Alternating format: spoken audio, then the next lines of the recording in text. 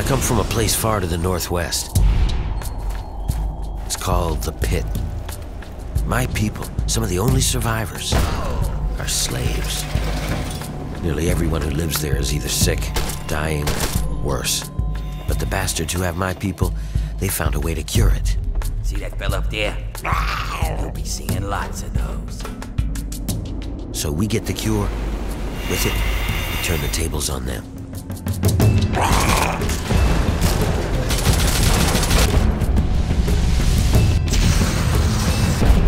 Nice work in the hole, New Blood. Knew you couldn't be one of our normal workers. Who are you? And what are you doing in my city?